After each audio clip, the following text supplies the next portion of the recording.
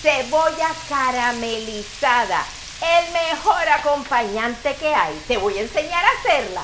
Esto es lo más rico que usted va a usar para acompañar pescado, para acompañar carne. Usted lo puede usar, ay Dios mío, con un hamburger, con un hot dog. Mire, mire cómo suena eso, qué rico. Ya yo le puse aceite y tú puedes cortar la cebolla en juliana, en ruedas, como tú quieras.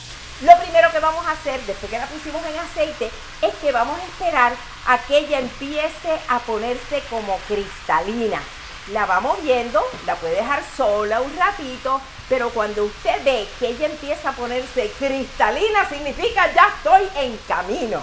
Y ahora que la ve que ya está como monguita, mire, mire, mire cómo ella está ahora cristalizada, la ve como brilla, se ve suavecita. Ahora es que le vamos a poner dos ingredientes, que es un poquito de sal, así que no le tiene que echar tanta sal, le vamos a echar un poquito de pimienta por acá, pimienta. Y, y olvidé decirle que le vamos a echar un toquecito de adobo, un poquito de adobo, un poquito nada más. Y vamos a mover, seguimos moviendo. Y cuando usted vea que ella empieza a ponerse doradita, es que le vamos a echar el próximo ingrediente. Lo que hacemos, porque tampoco queremos que se nos queme, es que le vamos a echar un poquito de agua, un poquito, para que ella siga cocinándose. Y cuando esa agua se evapore, es que le vamos a poner el ingrediente secreto de las cebollas caramelizadas de María Marín. Lo sigue moviendo bien así y entonces... ¡Ay! ¡Ah! ¡Ah! No ha pasado nada. Quietecito, ese cuadro tiene vida propia. Lo sigue moviendo bien. Y mientras esa agüita se está secando, yo voy a darme mi sorbito de café bustelo. Mm. Mm, mm, Cuéntame, ¿qué le pones tú a tu café? ¿Te lo tomas negro? ¿Le echas azúcar y cremita o qué tú haces? Ahora que está doradita, le vamos a echar el ingrediente secreto que es salsa inglesa.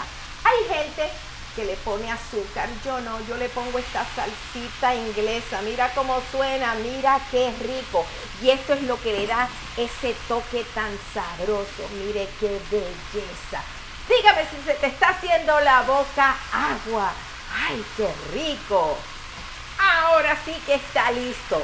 ¿Y con qué voy a comerme esta delicia? Pues me la voy a comer con un bistec. Usted sabe que esto usted realmente se lo puede poner al pescado, a la carne, a un hot dog, a un hamburger, encima de queso. Pero miren, miren dónde lo vamos a poner. Acá, unos bistecitos que yo hice. Ay, ay, ay, que no se me caiga. Ahí está, ahí está. Ah, y vamos a ponerle ahora la cebollita. Quiero que vea este espectáculo. Mire esto, mire esto.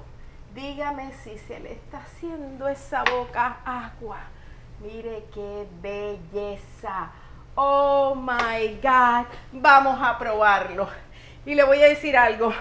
Yo lo voy a probar sin la carne. Voy a probar primero la cebollita sola. Vamos para acá. Vamos para acá. ¿Está viendo el humito? Una, dos y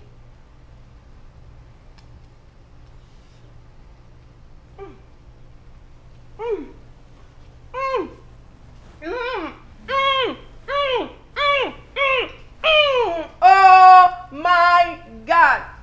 Qué rica me quedó esa cebolla caramelizada. Uh, comparte esta receta para que le quede en su mura y la pueda hacer igual que yo. Gracias por acompañarme y a todos los que entran a criticar aquí a mi cocina quiero recordarles algo, que por qué es que yo cocino con el pelo suelto, pero hoy lo tengo recogido.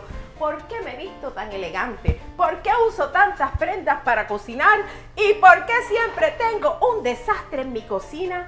Porque yo no soy chef, motivadora. Y en mi cocina usted cocina, vive. A su riesgo.